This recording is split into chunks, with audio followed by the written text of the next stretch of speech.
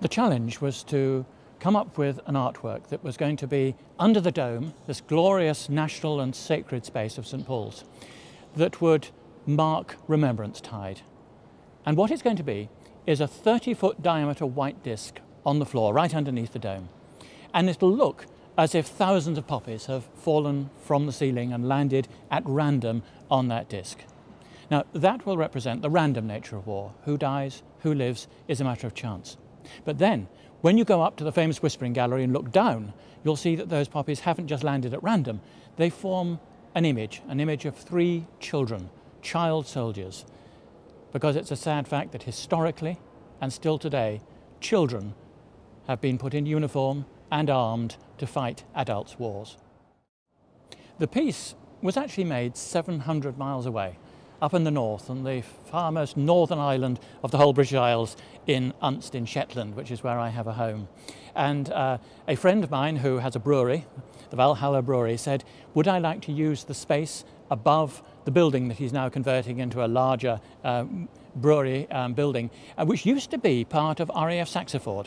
Um, and it was a lovely space to work in, and he kindly let me do that. And over the summer, I have been painting boards, shaping boards, pinning poppies, uh, very, very particularly in space, in the right place on these boards according to the design that I drew up.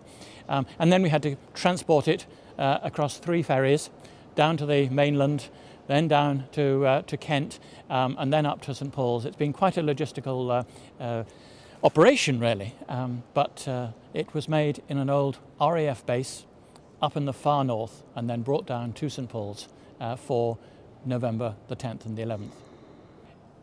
It's one of those things that emerged because I'd been thinking quite a lot about the poppy as a symbol and feeling that it needs to become a universal symbol of remembrance and go back to becoming a symbol of, of grief and of peace, um, a way of reminding us all that we should work hard to preserve peace. Um, it's not just there to uh, be a symbol of national pride, it's something that can be adapted internationally as a universal symbol of remembrance and to remember the children in particular who have been involved in adults' wars.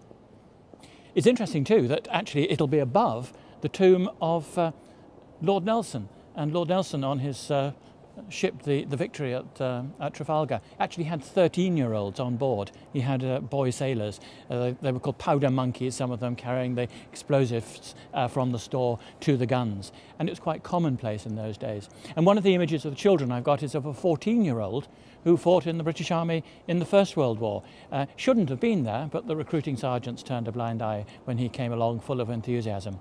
And then the other two children that I show, there's a girl, because about a third of all of the uh, children currently in uniform are girls. Um, she was, uh, represents those girls who've been in wars, uh, certainly in Vietnam, in Sri Lanka and other places like that, um, and also a young lad uh, who is from a more recent um, conflict in Africa. One of the things I'm trying to capture is that sense of innocence, but of innocence betrayed.